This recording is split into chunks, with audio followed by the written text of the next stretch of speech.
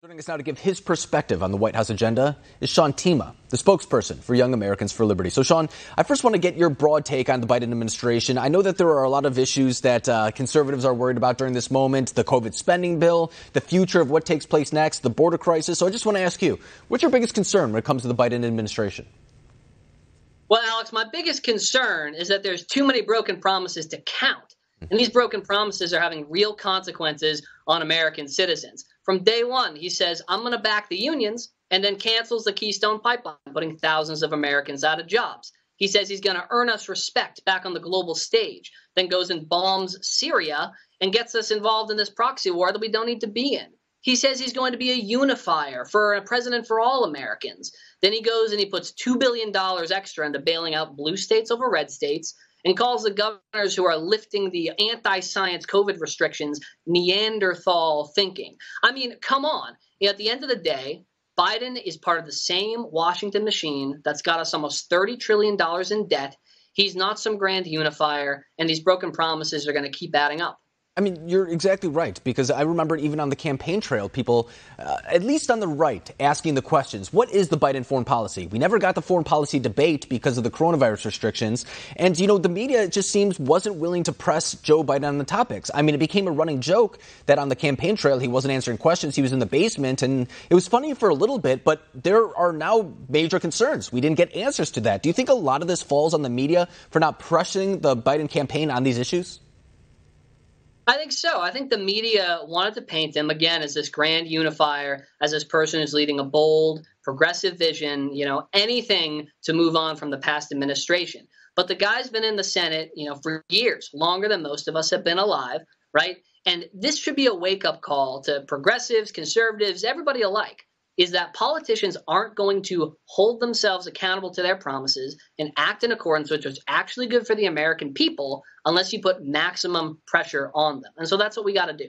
And I think that right now we're really seeing that in the border crisis. I mean, that is something that under President Trump, uh, he was racist if he did it. And uh, the child detention facilities, children in cages, are now migrant uh, overflow facilities. We just kind of see a different change of wording, kind of a different narrative within itself. But do you think that that is an example where we kind of see, I will call it the hypocrisy, if you will, maybe the double standard, just a different media coverage when it comes to the Trump administration as opposed to the Biden administration? I think so. And look, many politicians for years, they want to play hot potato with the border crisis issue. They want to play the blame game. The reality is this runs deeper than any one politician. And let me be clear. I don't care who's in the White House. I don't want to see any child of any nationality in a government cage paid for by my tax dollars. And with thousands of children right now in those government cages on the southern border, Joe Biden is just yet again breaking a progressive promise that he had in his campaign.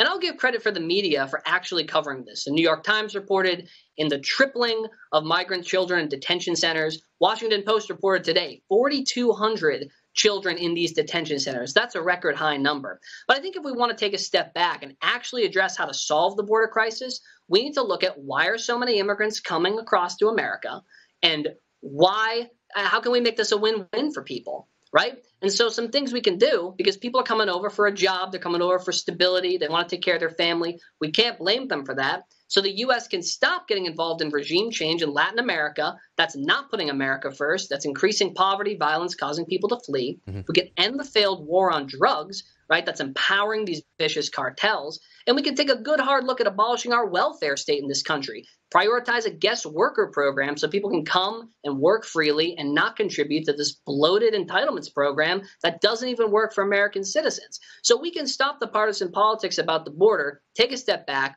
look at real solutions, end these government mandated services, coups, and these lockdowns. They're just not getting us any closer to having a functional immigration system.